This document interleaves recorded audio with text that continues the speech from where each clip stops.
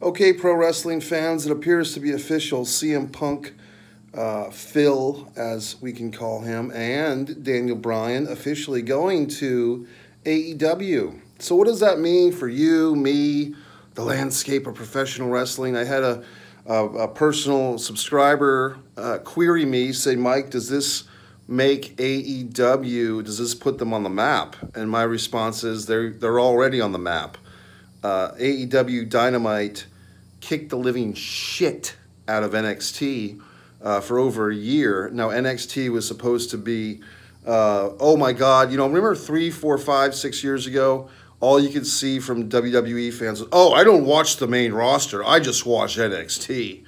NXT, NXT, with your fucking nose in the air.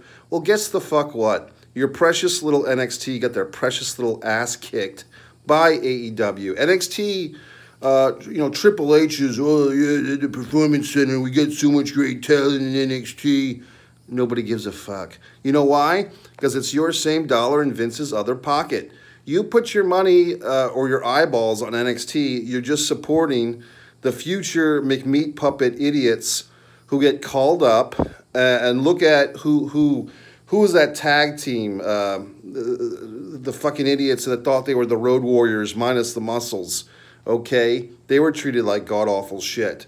Uh, Tommaso and Ciampa and uh, Johnny Gargano in the middle of a hot angle, a hot feud. Remember that 2019 on NXT? They were in the middle of their uh, death match of dueling, and then they got called up to the main roster as a tag team. And all you uh, NXT marks had to sit there and stick your thumb in your ass and try to figure that one out from a creative perspective. Because guess what? Vince, in his mind, and I'm not going to say that he has dementia, I'm not going to say that he has Alzheimer's, but if uh, the guy's getting older, I'm not making fun of people that are suffering from those situations. Those are horrible, god awful situations. But would you trust a 75 year old man with a remote control to the TV? Would you trust Vincent Kennedy uh, Jr. McMahon with the, the, all these wrestlers and their fates and their futures? I wouldn't, but that's just me. So you got my theory is that uh, Junior, literally in his state of mind, looks at these NXT guys as coming in from some other territory. Like in, in his mind, because he doesn't spend time in Orlando, Florida, he doesn't spend time with these wrestlers, grooming them uh, he thinks they're coming in from WCW or the territories. Like, you know what I mean? Like his mind is not working properly. Now, you fucks might say, well, gee whiz, Mike, he owns all of it. I understand. What you have to be to be a next level wrestling uh, aficionado or historian like myself is you have to realize the patterns of behavior and the decline of behavior and what, uh, in other words, his mind is not working like a rational human being.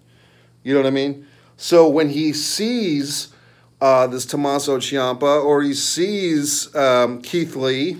I mean, I remember a year ago, you guys were all jerking a circle about Keith Lee. Oh my God, Keith Lee, Keith Lee, oh, bask in his glory, bask in his jobberhood. I mean, he's brought in, he's cloaked in a giant shirt. Uh, his music has changed, and he becomes SD Jones. look at look or Rufus R. Jones. I mean, he's become a fucking joke. So that's you know, and um, apologies to Rufus R. Jones and and SD Jones because they the way that Keith Lee has been presented has been as a big fat piece of shit. Okay. And, and a year ago, you guys were all jerking off about Keith Lee. Oh, Keith Lee. Keith Lee sucks now. Why? Because Vince McMahon wants him to suck. Because Vince McMahon doesn't like him. Why? Because he was good in NXT. Because in Vince corrupted thinking, delusional or demented Vince thinking, uh, junior thinking, GJT, demented junior thinking. Keith Lee is not a Vince McMahon of a project or a product or a character. He's from somewhere else. Now, Vince, in his delusional thinking or his demented thinking, doesn't acknowledge that he owns that something else, that this NXT is his property. He, he thinks of it as a competition. That's what I'm trying to explain. Yes, it doesn't make sense, but I'm telling you that in his fucking mind, that's how the synapses in his brain are working. They're corrupted, they're delusional, they're demented. So you have to understand that. And you can argue with it, well, that doesn't make sense. Well, assholes, nothing in the WWE makes sense. Kenneth Mobley, need I say fucking more? They don't hire people that actually like wrestling, watch wrestling, know wrestling. They hire, oh, Kenneth, you have no wrestling experience. You're perfect. That's the level of disrespect they have for professional fucking wrestling.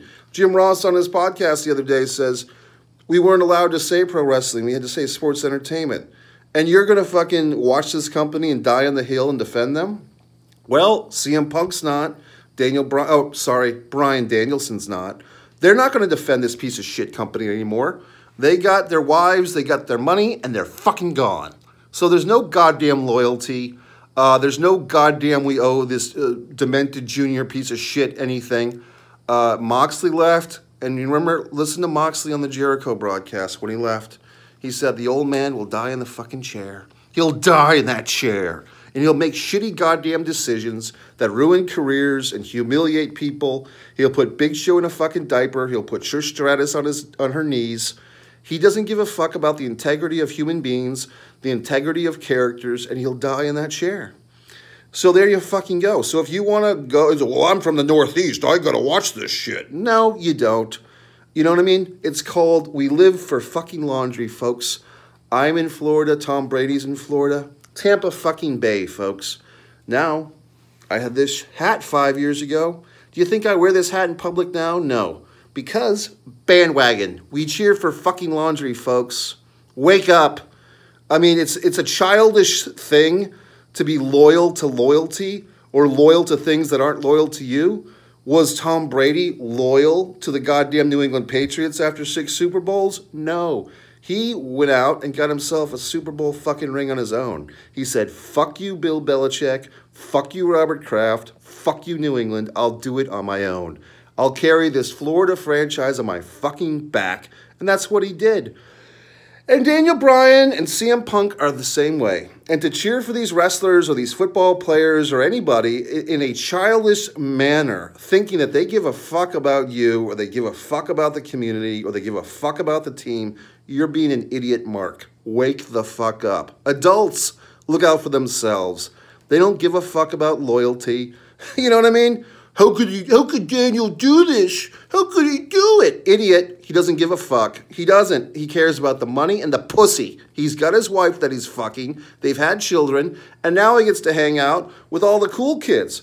Now he gets to act like he's 25 and ROH again. You know what I mean? He doesn't have to sit around and watch a prehistoric uh, Vince, and he doesn't have to sit on the sidelines for two years when he went, didn't want to because these physicals that he was uh, failing. I'm talking about Bryan Danielson now. He gets to go and wrestle with the cool kids. He gets to have a 60 minute Broadway with Omega. He gets to, you know, wrestle all these young Sammy Guevaras and all these people. He gets to see all his friends, and they work, what, once or twice a week at the most? I mean, I was going to these uh, AEW shows for six months and I said, holy shit, these wrestlers have it so goddamn easy. They're not touring. Now, this is when they weren't doing the live shows in different communities, different uh, cities. But they're doing one show at Daily's Place. Then they have the, the darks and the you know the darks and the elevations and all this stuff. But it's all in one location, an outdoor amphitheater. There's a low risk of COVID.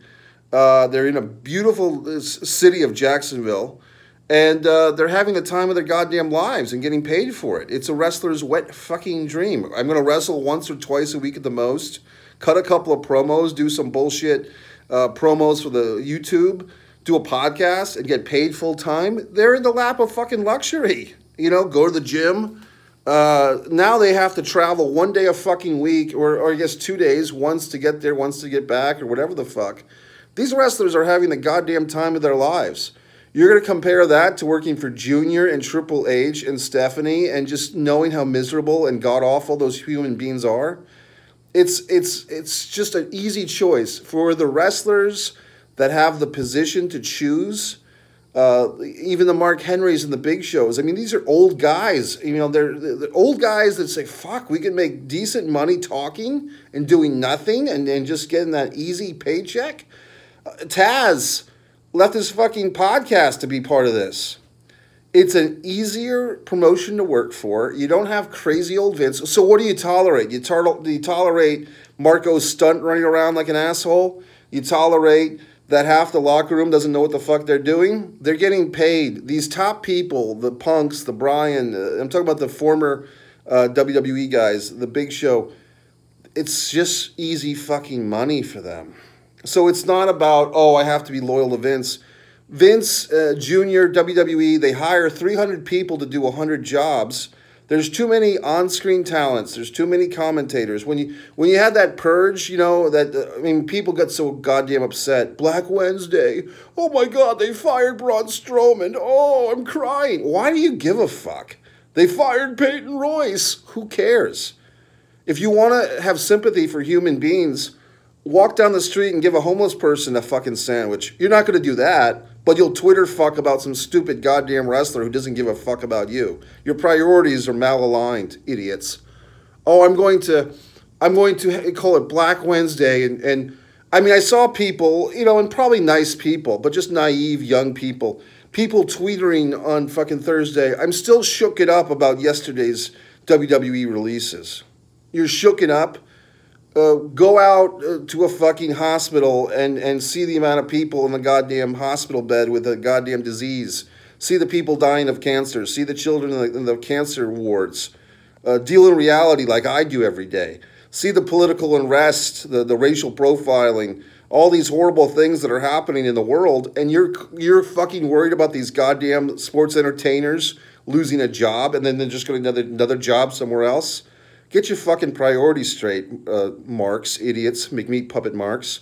I'm just telling you, it's kind of sad and it's kind of pathetic when I see people, uh, and I'm sure that they're nice people, but they're just, you're warped. Your thinking is warped and your view of reality is limited if you're concerned about these professional wrestlers and how they're going to deal with getting fired from a wrestling company when there's children in cancer wards and there's people with pandemics and there's countries in, in unrest and there's threats of war and the water's polluted and we're all pissed off about everything. Wake the fuck up. You know what I mean? You're watching too much goddamn wrestling if these are your concerns. These fucking idiot wrestlers who are puppets that are genuinely hungry for their strings. I tried by the fucking way. Everyone got their dicks in an uproar. Oh my god, that Raw was a mess. Okay, you hooked me. I had to put it on for a minute. I see John Cena coming out. To be honest, he looks different. I mean, granted, he hasn't been in the gym. He's not. He's probably thirty pounds less, but it looks like he's swimming in his old John Cena clothes, and his hair's grown out. He looks weird, and um, he, Matt Riddle comes out, and then the two of these fucks are like doing a selfie together, and I turn the goddamn show off. I said, I can't, I can't. I knew at that point that they were having. Uh, you know, because I didn't watch it live. They're having you know, Goldberg come out to challenge Lashley, and Nikki Ash is winning these titles. And I've got nothing against these people except Bill Goldberg. You can watch my Bill Goldberg Bill Goldberg videos to see what I think of him, the Bret Hart career ender, Goldberg. Uh, but for me, just watching, as soon as I saw Riddle and Cena, I'm like, I can't watch this. Uh, there's no need for me to watch this program. There's no desire for me to watch this program. I know where it's all headed. It's headed for a shit show. It's a Saudi Arabian sponsored shit show circus.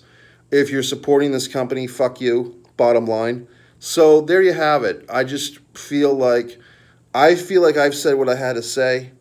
Uh, it's AEW all the way. Look, in five years from now, if AEW is out of business and this was all just a fever fucking dream, as Conrad likes to say, a fever dream, that southern stupid expression, guess what? Fine. But I'm going to ride this fucking dragon for as long as it's worth. A-E fucking W. Okay? That's where all the cool kids are headed. That's where all the fun is. That's where all the money is. That's where all the good times are. Okay? Company's been in business less than two years and they're kicking McMahon's ass all over fucking Wednesday nights. They kicked his ass off Wednesday nights. So there you fucking have it. WWE is a dinosaur, and what happens to dinosaurs? They go extinct. That's it. And the meteor is named AEW. Hashtag Raw Protest was right all along. Uh, I was in business with Raw Protest before AEW. I set the fucking table, and now the table has been uh, nourished. So there you fucking have it. Woo!